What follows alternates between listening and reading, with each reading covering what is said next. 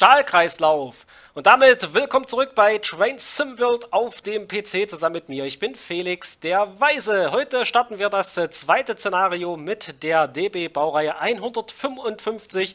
Und in diesem Szenario sollen wir leere Stahlwaggons mit der Baureihe 155 zum Stahlwerk nach Oge bzw. nach Öge bringen. Und wie ihr seht, müssen wir auch in diesem Szenario die Lokomotive erst einmal aufrüsten und wie ihr auch seht, müssen wir zuerst einmal auch die Waggons ankuppeln, denn die Lokomotive steht hier alleine auf dem äh, Abstellgleis. Ja, und deswegen würde ich sagen, verlieren wir gar nicht mal so viel Zeit, sondern wir geben uns direkt an unseren Arbeitsplatz, schließen die Tür hinter uns und beginnen damit die Lokomotive abfahrbereit zu machen. So, der Batterieschalter muss auf angeschalten werden. Dann schalten wir den Kompressor auf automatisch. So, dann können wir hier gleich noch die PZB schon mal einmal einschalten. Und dann können wir natürlich noch die SIFA einschalten. So, PZB-Modus M, das dürfte für eine Fahrt mit leeren Güterwagen äh, ausreichend sein. So, wir begeben uns zum Arbeitsplatz, schließen die Tür hinter uns und das Wetter ist auch so, wie es ja heute auch in Deutschland ist. Es ist äh, bewölkt, bei uns hat es heute schon geregnet. Äh, auf, vorwärts. So, Stromabnehmer äh, heben und dann müssen wir diesen Trennschalter schließen und den Transformator noch einschalten. Als nächstes den Kompressor auf automatisch setzen und den Bremsschlüssel anschalten. So, nun sind wir laut dem Spiel schon abfahrbereit. Aber ähm, die Handbremse können wir schon mal lösen. Aber ich schalte mir hier für die Fahrt noch die Spitzensignale ein. Auf der rechten und auf der, also auf beiden weiß. Hier muss er noch auf weiß geschalten werden. Ja, und dann sind wir meiner Meinung nach erstmal abfahrbereit. So, Kabinenlichter. Okay, na gut, das können wir später per Tastenkombination noch erledigen. Gut, PZP ist eingeschalten. Ja, dann passt soweit alles. Gut, dann sind wir meiner Meinung nach jetzt doch wirklich abfahrbereit. Richtungswender ist auf vorwärts gestellt. Wir lösen die Bremse. Und wie gesagt, wir müssen ja die Wagen ankuppeln. Ich gehe davon aus, dass das hier die Wagen auf dem Nebengleis sind. So, Bremse ist gelöst. Und dann setzen wir uns langsam in Bewegung. Und sollen... Ja, wo sollen wir denn jetzt eigentlich hinfahren? Davor sollen wir jetzt fahren. Das ist der nächste Auftrag auf dem Ausziehgleis zu halten. Alles klar. Dann müssen wir wahrscheinlich hier zurücksetzen und die Waggons ankuppeln. Ja, Leute, so wie das alles so ein bisschen zurzeit mit den ganzen Projekten hier hinterherhinkt. Aber ich habe also abseits von YouTube und auch abseits vom PC zurzeit einiges zu tun. Viele Sachen, die ja organisiert werden müssen und geregelt werden müssen. Und von daher, wie gesagt, äh, seht es mir bitte nach, wenn es manchmal ein bisschen dauert oder mal in einem einen oder anderen Tag gar kein Video kommt. Es ist einfach... Ich meine, ich habe ja mittlerweile auch so ein bisschen, sag ich mal, qualitative Ansprüche an die Videos, wo ich auch sagen, äh, ja, dann lieber mal einen Tag gar kein Video anstatt ein äh, schlechtes Video. ist so meine Meinung dazu und ja, ich sehe ja trotzdem, wie gut die Eisenbahn-Videos bei euch ankommen. Jetzt die Rügen-Videos wieder, das ist einfach Wahnsinn. Vielen, vielen Dank für euer Rieseninteresse an diesen Videos. So, jetzt müssen wir aber erstmal hier wieder auf dieser kleinen Markierung sehen, dass wir hier anhalten können. Und dass wir hier nicht zu früh, aber auch nicht zu spät anhalten. Okay, das reicht schon. Gut. So, und dann sollen wir jetzt die so, jetzt ist die PZB, glaube ich, im Störmodus, weil wir jetzt ja rückwärts fahren. Und jetzt sollen wir, ja, dort die Güterwagen ankoppeln, so wie das Ganze aussieht. Ja, dann werden wir das tun. Wir lösen die Bremse wieder. Und ich mache das jetzt hier einfach mal mit der Außenansicht, weil es etwas einfacher ist. So.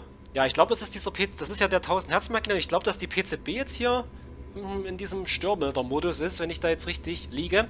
Ja, und dann euch mal die Frage. Stahlwerk Oge bzw. Stahlwerk Öge, geschrieben O-E-G-E. -E. Wie spricht man das richtig aus? Normal ist es ja im deutschen Sprachgebrauch so, äh, OE gleich wird also Ö gesprochen, also entspricht halt dem Umlaut Ö. Aber ich habe gerade bei äh, Städten oder Orten schon mal die Erfahrung gemacht, dass das nicht immer der Fall ist. Beispielsweise der Ort Soest oder auch als Soest bekannt, in der Nähe von Paderborn und Lippstadt, wird ja auch mit OE geschrieben und wird halt immer Soest oder Soest ausgesprochen. Also ich habe da noch nie irgendwie gehört Söst. Ähm, deswegen an euch mal die Frage, falls ihr die Gegend kennt, wie spricht man das richtig aus? So, während wir jetzt hier erstmal vor den Güterwagen halten sollen an der Markierung, dann sollen wir wahrscheinlich ganz langsam die Stahlwaggons ankuppeln, so wie das aussieht. So, das passt schon mal soweit ganz gut. Wieder zu früh gehalten. Aber es zählt trotzdem. Ja, da stehen sie, unsere Stahlwaggons. So, was ist jetzt der nächste Auftrag? Gar kein Auftrag, okay, auch gut. So, jetzt sollen wir die Wagen ankuppeln. Okay, dann machen wir das. Lösen die Bremse nochmal und fahren jetzt etwas langsamer an die Waggons. Ich sagte langsamer, lieber Zug. Und das, ich glaube, ankuppeln müssen wir dann sowieso nochmal manuell. Also diese Kollisionsabfrage der Kamera kann einen manchmal auch ein bisschen So, wie nah sind wir dran? Das ist, glaube ich, noch ein Stück zu weit weg. Ich nehme, eine jetzt mal eine andere Ansicht hier. So. Ich glaube, das ist noch ein Stück zu weit weg. Jetzt ganz langsam hier mit einem Stundenkilometer oder irgendwas daran.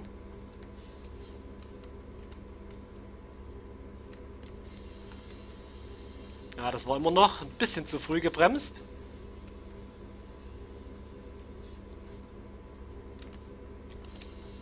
Das passt doch schon mal ganz gut. Super, so, und das Ankoppeln müssen wir ja sowieso manuell machen. Normalerweise, ich glaube, äh, im realen Vorbild hat man dann die, ähm, da hat man ja dann Rangierer, die einem dabei behilflich sind, oder man macht das mit einer Fernsteuerung. Gut, das Fernsteuerung gibt es, glaube ich, bei der Lok nicht. So, die Wagen sind angekuppelt. Damit ist unser Zug abfahrbereit. So, jetzt sollen wir die Bremsen nochmal, diesen Bremstest durchführen. Wir schließen da die Tür dazu hinter uns. Und ja, genau, das heißt Bremse. Erstmal, ich setze erstmal den Richtungswender wieder auf vorwärts. So, die Bremse erstmal hier auf volle Leistung. Und dann muss sie wahrscheinlich wieder mal gelöst werden. Und dann auf Minimum. Finde ich auch toll, dass man eben solche betrieblichen Abläufe hier darstellt. Eben gerade im Güterverkehr ist das ja enorm äh, interessant und sehr, auch sehr, sehr wichtig, dass man nicht immer einen voll aufgerüsteten Zug übernimmt, sondern eben gerade solche Sachen hat, wie eben mal einen, eine Lok aufrüsten, dann erstmal die Waggons abholen. Das sind da solche Sachen, die eben dann gerade für den Spielspaß äh, förderlich sind und eben das Spiel dann auch nochmal deutlich interessanter gestalten. Hier sehen wir mal unseren Zug. Ähm, der hier bereitsteht. Wir können ja mal uns den, na gut, allzu lang ist er nicht. Ist ein relativ kurzer Güterzug. So, das heißt, jetzt müssen wir mal gucken, wie wir jetzt hier die Zugkraft einstellen. Ähm, achso, Quatsch, ich war ja wieder in dieser Ansicht hier. Na, ich würde mal sagen, wir nehmen mal 75%. So, na gut, wir nehmen mal 80. Die Strecke ist ja, glaube ich, auch teilweise hügelig. Ja, wir sind immer noch natürlich auf der Rursig-Nord-Strecke unterwegs. Ähm, lösen jetzt hier die Bremse und dann werden wir uns in Richtung Hohen Limburg in Bewegung setzen. So, und ich habe hier versehentlich die FPS-Zahl wieder eingeschalten. Ist jetzt, dürfte für euch jetzt nicht so interessant sein. So, wir fahren natürlich im PZB-Modus M. Äh, mittlere Zugpriorität.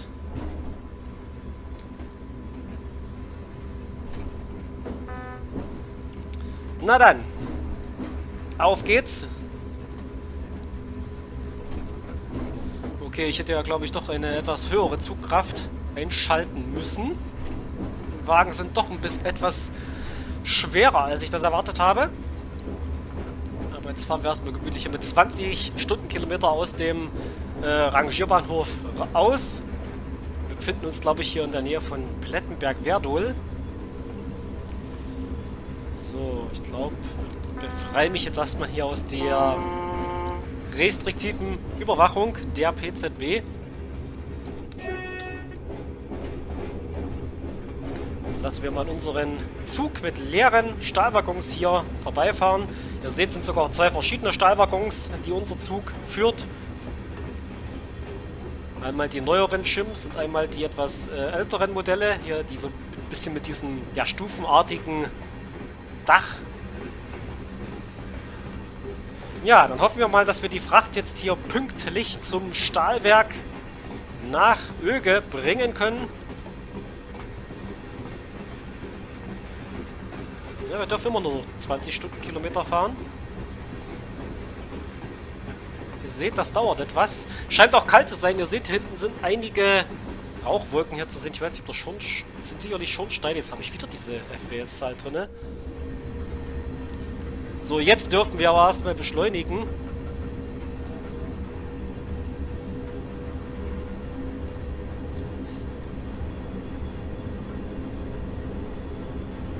Okay, jetzt regelt ja selber die Fahrstufen wieder nach unten.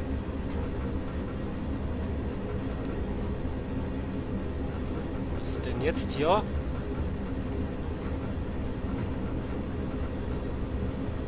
So, jetzt gucken wir jetzt nochmal, dass wir hier...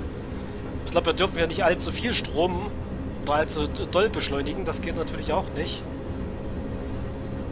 Aber wir schaffen das schon. Wir dürfen jetzt, glaube ich, auf 110 Stundenkilometer beschleunigen. Ja, liebe Leute, wie gesagt, äh, ihr habt euch ja auch noch eine weitere Fahrt mit der Baureihe 155 gewünscht. Und ja, es freut mich, dass gerade ähm, diese Lok so gut bei euch ankommt. Allgemein die ganzen Eisenbahnvideos zurzeit, das ist einfach der, der Wahnsinn, groß da euer Interesse daran ist. Egal ob Train Sim World oder Train Simulator. Train Simulator hatten wir ja letztens die Fahrt auf Rügen nach Binz und wieder von Binz, äh, beziehungsweise die nächste Fahrt wird ja dann von Ostseebad Binz wieder zurück äh, zum Festland gehen nach aktuellem Stand. So, ja, ich hätte hier mehr Zugkraft aufschalten müssen. Ich glaube, 80% ist hier echt etwas wenig. Ihr seht's, wie schwer sich der Zug jetzt hier tut. Die letzte Fahrt, da sind wir mit der Lokomotive alleine unterwegs gewesen. Ich glaube, von Hagen nach Hohen... Da sind wir auch nach Hohenlimburg gefahren, genau. Ja gut, also das Szenario soll 30 Minuten dauern. Ich glaube, das Szenario dauert hier deutlich länger. Wir haben jetzt über 20 Kilometer noch zurückzulegen. Ich mache mal was anderes. Wartet mal, Leute. Ich versuche jetzt mal die ähm, Zugkraft äh, etwas höher zu setzen. Ja das ist vielleicht ein bisschen zu hoch schon.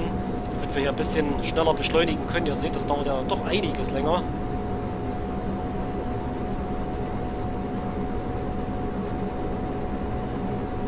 man merkt schon, dass die Güterwagen einiges an Gewicht haben, obwohl sie ja leer sein sollen, laut äh, Szenarioangabe.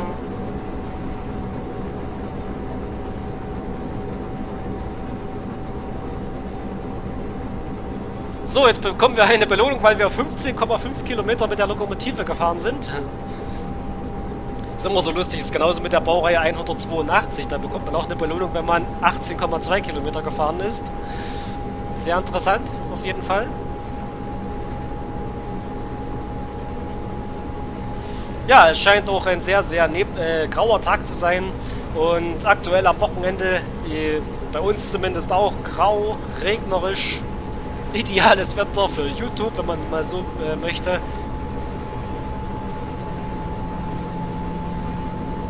Stufen hat denn die Lokomotive jetzt noch? 20? Einiges an Stufen.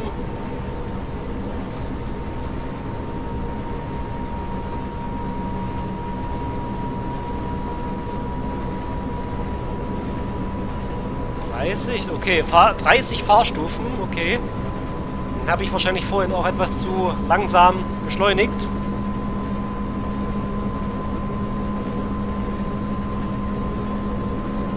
Schauen wir mal, wann wir Hohenlimburg erreichen werden. Es sind auf jeden Fall, wie gesagt, 20 Kilometer, die wir jetzt hier zurücklegen müssen. Über 20 Kilometer. So, hier können wir uns mal das Licht hier, Führerstand einschalten. passiert denn, wenn ich das jetzt hier auf Halten stelle? Unten hier auf Halten, dann müsste ja doch normalerweise die Geschwindigkeiten halten.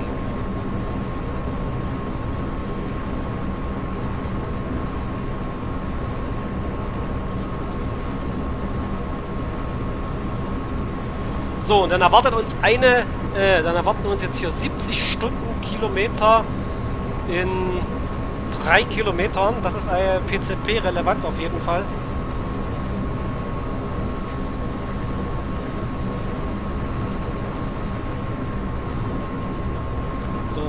Jetzt hier auf Halten stelle, dann müsste der doch normalerweise die Geschwindigkeit jetzt halten. Wie gesagt, angegeben wurde das Szenario mit 30 Minuten, jetzt sind es schon 15 vorbei. Wir haben immer noch 18 Kilometer zu fahren. Ich bin gespannt, inwiefern die Zeit diesmal stimmt. Ja.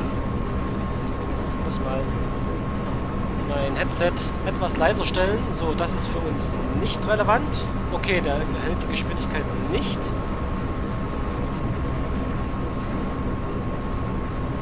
So, dann müssen wir jetzt erstmal hier auf die 100 Stundenkilometer beschleunigen, die uns da erwarten.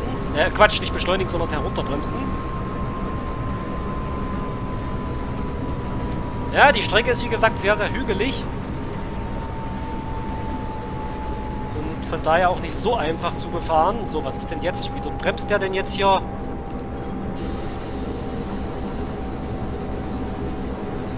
Ah, das sind dann wieder so...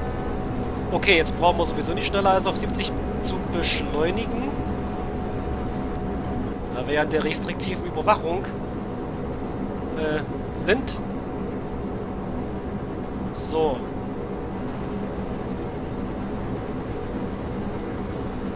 Haben wir aktuell jetzt noch 14 Kilometer bis zum Bahnhof von Hohenlimburg.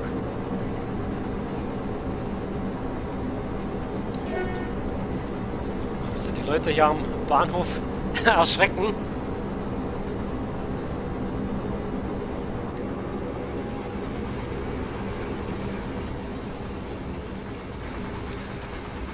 So, hat mich nebenbei aus der PZB befreit.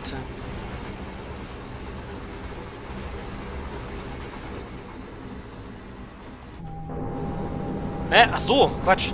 Zeigt er das schon an, dass ich hier schneller fahren darf, jetzt auf einmal doch wieder nicht. Okay.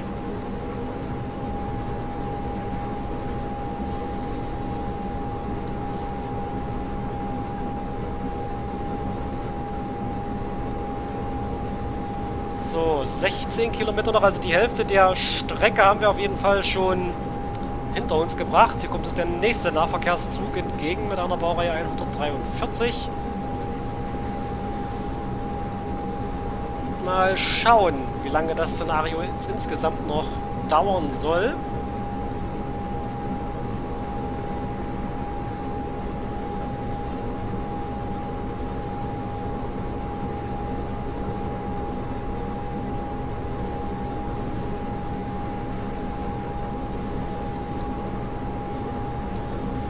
Moment, wir müssen wieder erstmal auf Null setzen.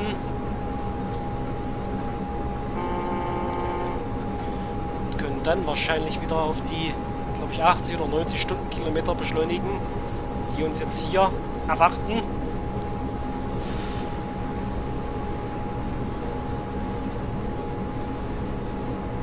So, und hier kommt schon die nächste Geschwindigkeitsbegrenzung, die wir aber nicht quittieren müssen ja langsamer als 80 hier unterwegs sind.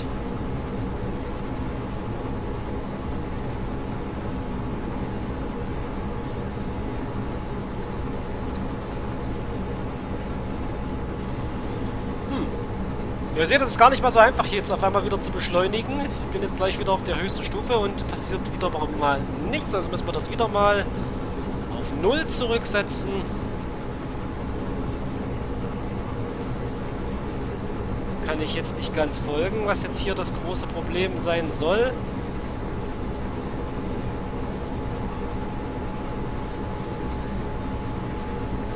Nullt er sich selber wieder. Ich weiß nicht, was hier das Problem ist. Ja, also das äh, wurde auch im Tutorial nicht ganz äh, erklärt. Ich glaube, wir haben schon wieder zu viel Leistung auf einmal aufgeschalten. Ich denke mal, dass es daran äh, vor allem liegen dürfte. So, es sind immer noch über 11, 13 Kilometer sind das noch, die wir, es ist ja Luftlinie, Entfernung ist ja äh, Luftlinie, die wir hier fahren. Und ja, Okay, Leute, dann glaube ich fast, dass das für ein Video etwas zu lang wird. Ich würde mal folgendes äh, vorschlagen. Wir machen jetzt hier den Cut. Ich danke euch erstmal bis hierhin fürs Zuschauen. Die abschließende Fahrt bis zum Stahlwerk, die seht ihr dann erst im nächsten Video. Ich danke euch wieder bis hierhin fürs Zuschauen und würde mich freuen, wenn ihr im nächsten Video wieder einschaltet. Bis dahin, habt eine schöne Zeit. Euer Felix, der Weise.